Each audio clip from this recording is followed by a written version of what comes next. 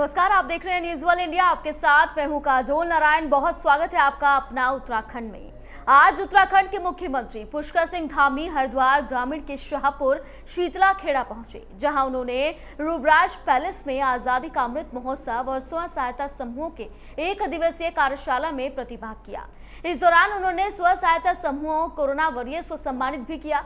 इस दौरान सर्वश्रेष्ठ बैंकर्स को भी प्रमाण पत्र देकर सम्मानित किया गया।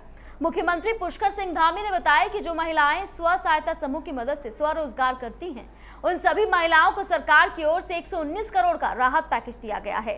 इस कार्यक्रम में बीजेपी के कई विधायक और नेतागण मौजूद रहे।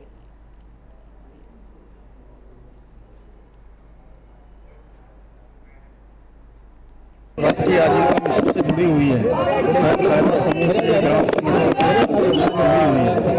वो लगातार स्वरोजगार करती है। उस स्वरोजगार को और मज़बूत करने के लिए हमने अभी 119 करोड़ रुपए का एक पैकेज अपनी बहनों के लिए दिया है कि इस समय में जो महामारी के समय में उनके बहुत सारे प्रोडक्ट जो बाज़ारों में आने थे या उनके पास जो रॉ मटेरियल था वो पूरी तरह से उनका कुछ दिक्कत हो गई जिसके कोरोना महामारी के कारण से। इसलिए हमने पैकेज देकर उनके प्रोत्साहन के लिए किया और आज मैं उन्हीं के प्रोत्साहन के लिए आया हूँ अपनी बहनों के बीच बहुत उत्साह है लोगों में आप पहुँचे हैं सरकार की जो योजनाएँ चल रही हैं बहुत मैं सभी का आभारी हूँ, सभी का स्नेह मिल रहा है अपनी माताओं, बहनों का, बड़े बुज़ुर्गों का, नौजवानों का, सभी का आशीर्वाद मिल रहा है और हम लोगों के बीच में जाकर संवाद कर रहे हैं। हमने कहा है सरलीकरण, समाधान और निस्तारीकरण। ये हमने एक मंत्र के रूप में दिया है, जिससे कि हम कोशिश कर रहे हैं कि जो जनता की समस्याएँ हैं, उनके साथ संवाद करके उनको जो है समाधान की ओर ले जाएँ।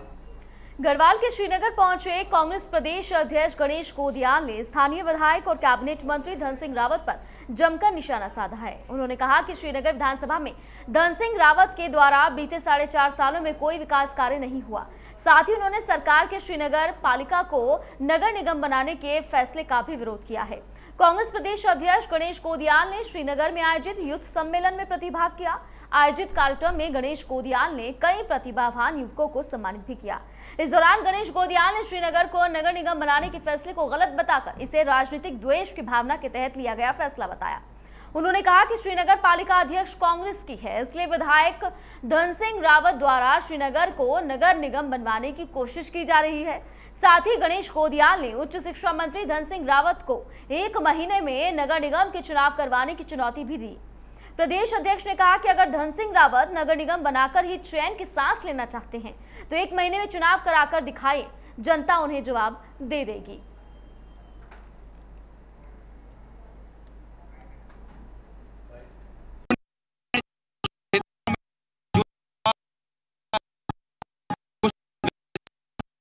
कर रहे हैं, उनको प्रोत्साहित किया जाए, उनको पुरस्कृत किया जाए, उसी के तहत हमने एक कार्यक्रम रखा है।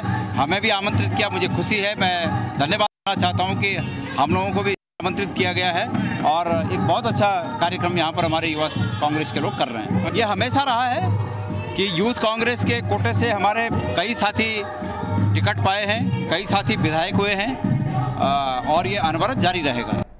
आज़ादी का अमृत महोत्सव कार्यक्रम के उपलक्ष्य में एसएसपी द्वारा निकाली गई रैली आज हल्द्वानी एसएसपी ट्रांजिट कैंप से दिल्ली राजघाट के लिए रवाना हो गई। ये रैली 2 अक्टूबर को गांधी जयंती पर दिल्ली राजघाट पहुंचेगी। बता दें कि साइकिल रैली के दो दलों में एसएसबी के 34 जवान प्रतिभाग कर रहे हैं। ये रैली कुमाऊं के सीमांत क्षेत्र डीडी हाट से शुरू हुई है और दूसरी रैली कुमाऊं के चमोली ट्रेनिंग सेंटर से शुरू हुई। डीआईजी एसएसबी के मुताबिक आज़ादी के 75 साल पूरे होने पर एसएसबी ने इस कार्यक्रम का आयोजन किया है, जिसको पूरी भव्यता के साथ मनाया जा रहा है। साइकिल रैली में प्रतिभाग कर रहे जवानों के मुताबिक एसएसबी के सारे जवान रैली में जोश के साथ प्रतिभाग कर रहे हैं। तो 2 अक्टूबर को दिल्ली के राजघाट पहुंचेगी ये साइकिल यात्रा। ये तस्वीरें आप देख रहे हैं। एसएसबी की साइकिल यात्रा हल्द्वानी पहुँची है और इसे 2 अक्टूबर को दिल्ली पहुँचना है। I am representing frontier headquarter Ranikhet we started from Didihat Pithoragarh district to 70 kilometres हेलीटेरियन distance and this cycle rally will end at Rajghat on second October the motto of rally is 75 five independence years Azadi ka Amrit Mahotsav this is doctor Malla I am done speaking thank you Azadi ka Amrit महोत्सव हमारे स्वतंत्रता के पचहत्तरवें वर्ष में मनाया जा रहा है। पूरे देशवासी इसे बड़े हर्षोल्लास के साथ मना रहे हैं।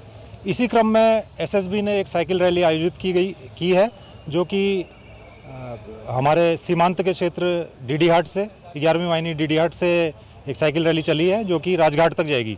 और दूसरी हमारी जो साइकिल रैली है, वो चमोली ज़िले में ग्वालदम, जहाँ पर हमारा एक ट्रेनिंग सेंटर है, वहाँ से चली है और ये भी राजघाट जाएगी। ये सभी, ये दोनों रैलियाँ आज काठगोदाम में इनको फ्लैग ऑफ़ किया गया है और ये दो अक्टूबर को राजघाट दिल्ली में जाएँगी पहुंचेंगी और वहाँ पर एक बड़े भव्य कार्यक्रम में इनकी, ये सम्मिलित होंगी।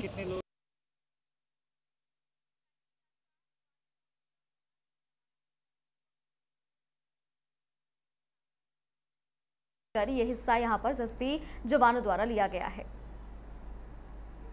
रुड़की की गंग नहर कोतवाली क्षेत्र के अंबर तालाब मोहल्ले में मामूली बात को लेकर दो पक्षों में विवाद हो गया। देखते ही देखते मामला इतना बढ़ गया कि दोनों पक्षों के बीच जमकर मारपीट हुई। वहीं इस विवाद में दो लोग घायल हो गए। मामले में मौके पर पहुँची पुलिस ने मामला शांत कराया। वहीं दोनों पक्षों के बीच हुई मारपीट की ये घटना पास ही लगे सीसीटीवी कैमरे में कैद हो गई। फ़िलहाल पुलिस का कहना है कि मामले में किसी भी पक्ष की ओर से तहरीर नहीं आई है। अगर तहरीर आती है तो कार्रवाई की जाएगी।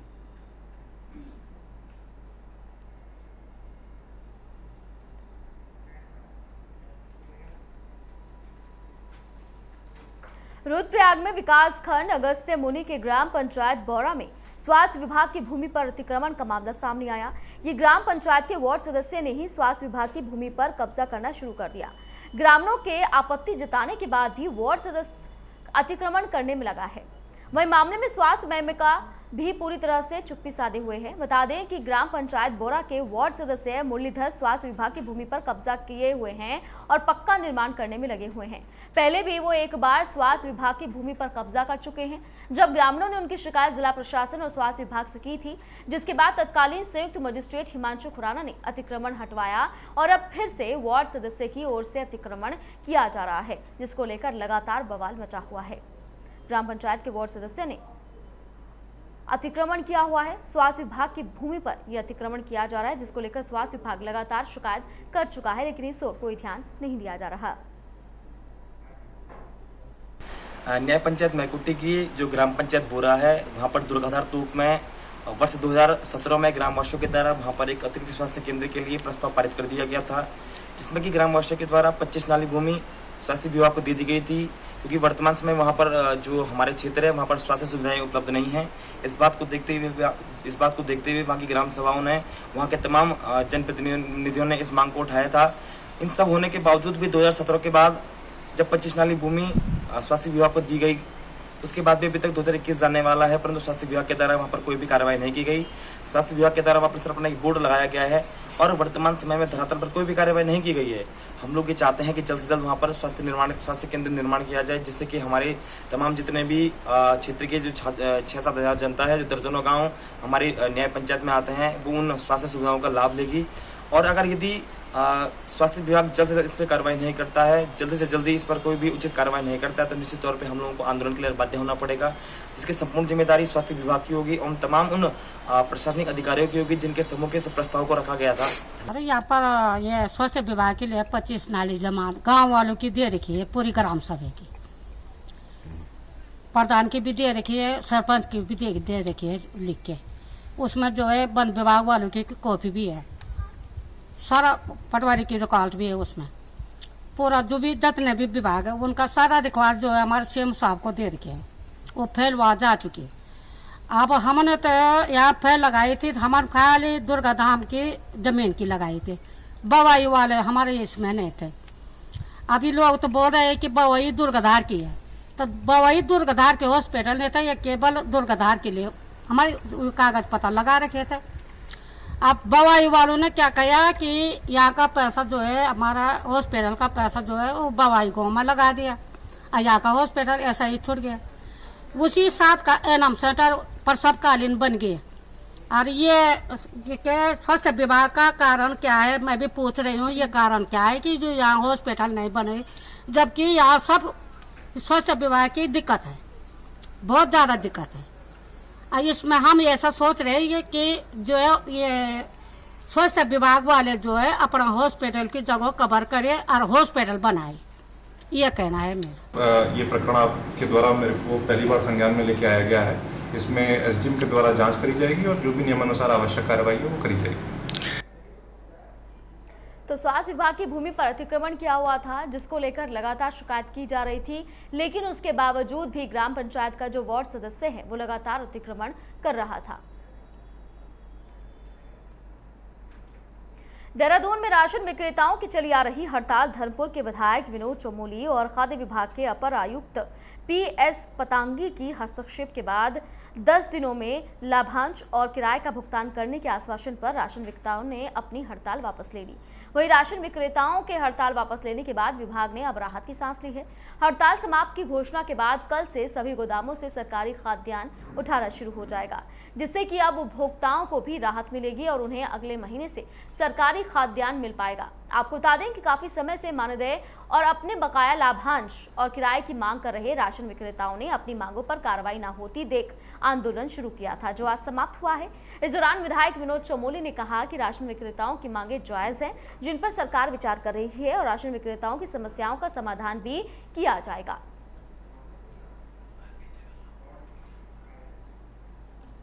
देखिए हाँ कुछ राशन विक्रेताओं की कुछ दिनों से ये मांगे थी कि उनके जो पुराने बिलों का भुगतान है, जो अभी वितरण किया गया था, उसका नहीं किया गया तो अभी हम लोगों ने पिछले दिनों में कम से कम बीस प्लस चौदह, करीब चौंतीस करोड़ का आवंटन अभी हमने कर दिया है। राशन के प्रतिनिधि भी थे और राशन के विक्रेता भी थे, इनके साथ हम लोग बैठे थे और इनको अवगत करा दिया गया है। और अवशेष इनके कुछ जो बिल बचे हैं, चार पाँच महीने के, उनसे हमने कहा है कि अगले हफ़्ते दस दिन में इनको हम करवा देंगे। अगर राशन की दुकान खोल करके इनको राशन वितरण करना सुनिश्चित करवा दें उनकी समस्याएँ बड़ी जायज़ हैं। और सभी दुकानदार यार रुके रहेंगे कोई जाएगा नहीं। बहुत कम कमीशन पे ये लोग काम करते हैं। सभी दुकानदार रुके रहेंगे खाना खा के जाएँगे कोविड काल में जो काम इन लोगों ने किया है ये कोई कोरोना वॉरियर से कम नहीं है। इनको हमने कोरोना वॉरियर की श्रेणी में लिया है। अपने आप में प्रशंसनीय है। और इनका जो भाड़ा था जो प्रधानमंत्री से जो फ्री राशन बट रहा है, उसके भाड़े का मसला था। इनका लगभग अभी जो हिसाब सामने आठ महीने का भाड़ा इनका बकाया रहता है।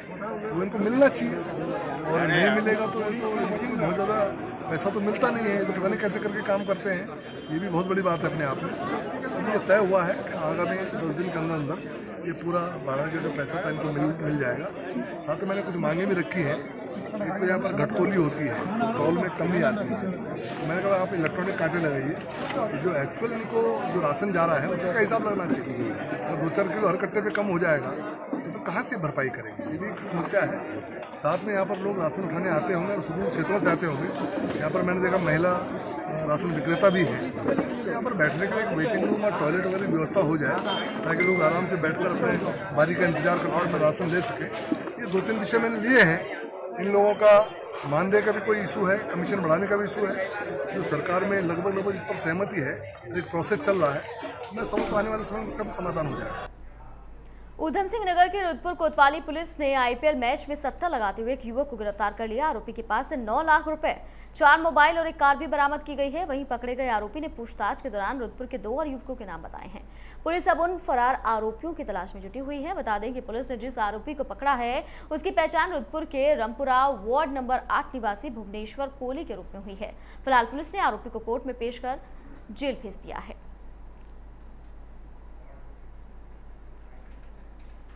ये कल लगभग लगभग पौने नौ बजे रामपुर रोड में जो है, जो E N Jha inter college है, वहाँ पर से एक व्यक्ति है भुवनेश कुमार कोहली ये रामपुरा का रहने वाला है। इसको सट्टा लगाते हुए पकड़ा गया और एक एस गाड़ी भी बरामद कर ली गई है, जिसमें बैठा हुआ था। और इसके साथ साथ जो है, जो जब तलाशी ली गई तो इसके साथ अन्य सामग्री के साथ साथ जो है लगभग लगभग नौ लाख रुपए बरामद हुए हैं। पाँच पाँच सौ के नोट हैं। कुल अठारह सौ नोट उसमें बरामद हुए हैं। इसमें तीन लोग, जो इसका जो मुख्य सरगना है, नाजिम, ये रामपुर का रहने वाला है। और दो लोकल के लोग अन्य हैं। एक तरुण नाम का है, एक पीयूष है। इन चारों लोगों के खिलाफ इसको तो हमने अरेस्ट कर लिया, भुवनेश को। और जो तीन लोगों के खिलाफ, चार लोगों के खिलाफ, हम कुल मिला के चार लोगों के खिलाफ जो है ग्रामीण एक्ट के तहत मामला पंजीकृत कर लिया गया है। हरिद्वार आए मुआयना के राजदूत चरणदास प्रसाद ने श्री दक्षिणी काली मंदिर में पूजा अर्चना की। और आचार्य महामंडलेश्वर स्वामी कैलाशानंद गिरी महाराज से आशीर्वाद लिया। इस दौरान राजदूत चरणदास प्रसाद ने स्वामी कैलाशानंद गिरी महाराज को भगवान श्री कृष्ण की प्रतिमा भेंट कर विश्व शांति की कामना भी की है। वही स्वामी कैलाशानंद गिरी महाराज ने राजदूत चरणदास प्रसाद को माँ की चुनरी और नारियल भेंट कर आशीर्वाद प्रदान करते हुए कहा कि सनातन धर्म और भारतीय संस्कृति से पूरी दुनिया के लोग प्रभावित हो रहे हैं। उन्होंने बताया कि गुयाना और भारत की संस्कृति में कई समानताएँ हैं। दोनों देशों के आपसी संबंध काफ़ी मज़बूत है। उन्होंने कहा कि गुआना के राजदूत चरणदास प्रसाद धार्मिक प्रवृत्ति के व्यक्ति हैं। माँ दक्षिण काली व गंगा मैया की कृपा से वो सफलताओं के नए आयाम प्राप्त करेंगे। आज रिपब्लिक ऑफ़ गायना के एम्बेसडर हमारे चरण प्रसाद जी आए हैं और वहाँ के लोकसभा मेंबर भी हैं एमपी भी हैं। तो बहुत धार्मिक है। माँ भगवती काली के दर्शन करने आए और माँ का आपने दर्शन किया। आज राजेंद्र दास जी महाराज निर्मोय अखाड़ा और सभी पूज्य संतों ने आपको आशीर्वाद दिया। आप बहुत सरल हैं, सौम्य हैं और अपने देश की परंपराओं को लेकर के, क्योंकि आपने देखा जो मोमेंटो आपने दिया, आपके देश की मोमेंटो लॉर्ड कृष्ण, भगवान कृष्ण है। तो भगवान कृष्ण को आपने भेंट किया और मुझे लगता है कि जो गहना कंट्री है, वो एक हिंदू कंट्री है। और वहाँ पूरी कल्चर हिंदू परंपरा से संबंधित है। पूरी परंपरा हिंदुत्व की विचारधारा की है। और आप वहाँ का प्रतिनिधित्व करते हैं भारत में। भारत में आप एम- एम्बेसडर भी हैं और वहाँ के लोकसभा मेंबर भी हैं। तो आज आप भगवती काली के दर्शन करने हरिद्वार आए। अभी आपने माँ का दर्शन किया। अभी आप हमारे साथ भोजन प्रसाद लेंगे। और उसके पश्चात जो है हम कुछ उस कंट्री को लेकर के और अपने भारत को लेकर के हम आपस में कुछ बात करेंगे, जिससे कि देश की संस्कृति और देश का संस्कार बचा रहे, क्योंकि जो गैना कंट्री है, वो निसंदेह शत प्रतिशत सनातन परंपराओं से संबंधित कंट्री है। तो मैं भगवती माँ गंगा से, माँ काली से और महादेव से प्रार्थना करूँगा कि उस देश में सारे प्रकार की वृद्धि हो उस देश की यश बढ़े, देश का सम्मान बढ़े और एम्बेसडर साहब और लोकसभा मेंबर चरण प्रसाद जी बहुत सरल हैं, सौम्य हैं। तो इनकी जो सहजता है, वो भारतीय संस्कृति से लेकर के वहाँ आप जाएँ और सनातन संस्कृति का एक वहाँ जो ओत प्रोत संदेश है, उस गहना कंट्री को प्राप्त हो। चमोली में कर्ण प्रयाग नगर में बंदरों के बढ़ते आतंक को देखते हुए स्थानीय लोगों ने तय कार्यक्रम के अनुसार अपर बाज़ार रामलीला मैदान से तहसील परिसर तक जुलूस निकालकर प्रदर्शन किया। स्थानीय लोगों के एक शिष्ट मंडल ने उप जिलाधिकारी के ज़रिए जिलाधिकारी को ज्ञापन दिया है। कहा है कि अगर एक तारीख तक बंदरों के आतंक से निजात नहीं मिली तो स्थानीय लोग उग्र आंदोलन के लिए बाध्य हो जाएँगे। स्थानीय लोगों ने तहसील परिसर में आक्रोश जताते हुए कहा कि नगर पालिका वन विभाग और स्थानीय प्रशासन को ज्ञापन देते देते थक गए हैं, लेकिन आज तक बंदरों से निजात नहीं मिल पाई है।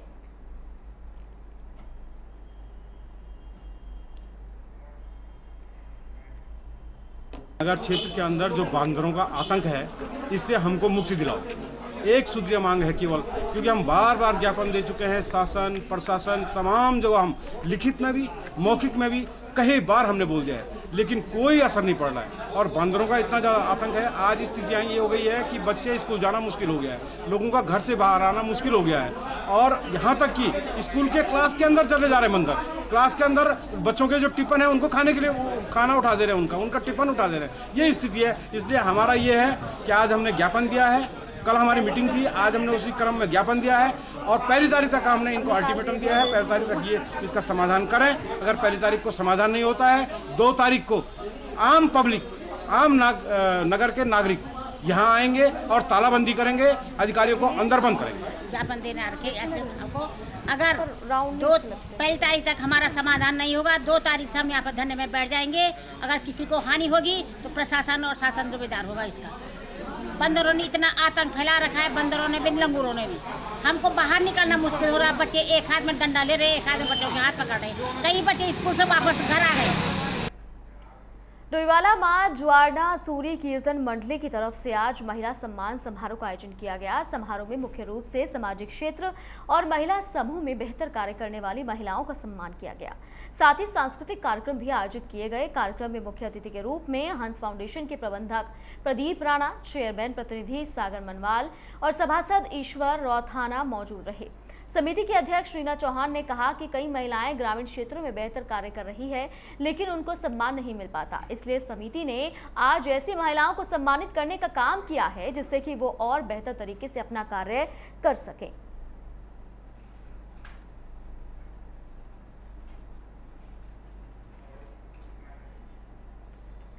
हमने जो ये आयोजन रखा है, महिला सम्मान का हमने आयोजन रखा हुआ है। महिलाएँ आज राजनीतिक क्षेत्र, सामाजिक क्षेत्र, सांस्कृतिक क्षेत्र, हर क्षेत्र में महिलाएँ बढ़ चढ़कर हिस्सा लेती हैं, लेकिन उनका सम्मान नहीं किया जाता। आज हमने उन महिलाओं को, जो समाज में बहुत अच्छे कार्य कर रही हैं, सांस्कृतिक कार्य कर रही हैं, उनको कहीं भी सम्मान नहीं मिल पाता। तो आज हमारा कार्यक्रम का उद्देश्य यही था कि मैं उन महिलाओं को सम्मानित करूँ जिनको कहीं भी इतने कार्य करते हुए भी, जिन महिलाओं का कहीं भी नाम नहीं होता। मंच में, मंच नहीं मिल पाता उन्हें।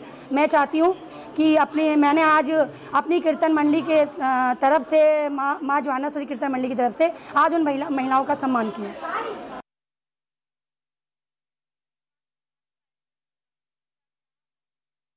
कार्य कर रही थी, उन सभी को यहाँ पर सम्मानित किया गया है। महिलाएँ ग्रामीण क्षेत्रों में बेहतर कार्य करें, इसको लेकर उनका हौसला अफजाई भी की गई है। हरिद्वार में योग, संस्कृति और हिंदुत्व के पोषक और मानव सेवा में समर्पित संस्थान, ईशा फाउंडेशन के संस्थापक सदगुरु जग्गी वासुदेव जी महाराज का पतंजलि आगमन हुआ।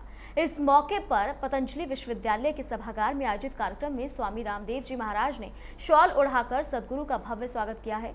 कार्यक्रम में श्रद्धेय सदगुरु ने कहा कि पूज्य स्वामी रामदेव जी महाराज और श्रद्धेय आचार्य बालकृष्ण जी महाराज के दिशा निर्देशन में पतंजलि निस्वार्थ भाव से समाज सेवा का महान कार्य कर रही है।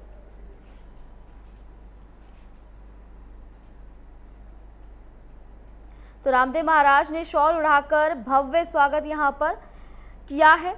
जग्गी महाराज का साथ ही साथ उनका कहना है कि सदगुरु जग्गी वासुदेव जी महाराज का पतंजलि आगमन बेहद शुभ है। हरिद्वार में भीड़ हरिद्वार की heavy electrical worker trade union की तरफ़ से ज्वाइंट कमेटी झंट एमएचएम्स और एटक के केंद्रीय नेताओं के पुतले का दहन कर अपना विरोध प्रदर्शन किया। Heavy electricals workers trade union भेल हिप रानीपुर हरिद्वार के महामंत्री विकास सिंह ने आरोप लगाते हुए कहा कि दो साल से भेल प्रबंधन की तरफ़ से ज्वाइंट कमेटी इंटक एचएमएस एटक के केंद्रीय नेताओं के साथ मिलकर PP bonus night allowance canteen rate के अलावा बहुत सारी सुविधाओं में कटौती कर दी गई है, जिसे यूनियन बिल्कुल बर्दाश्त नहीं करेगी।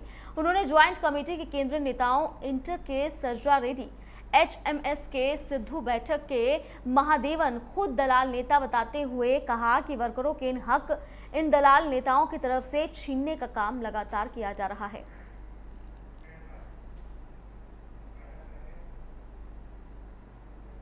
और इसी के साथ फ़िलहाल खबरों में इतना ही। आप बने रहिए न्यूज़ वन इंडिया के साथ।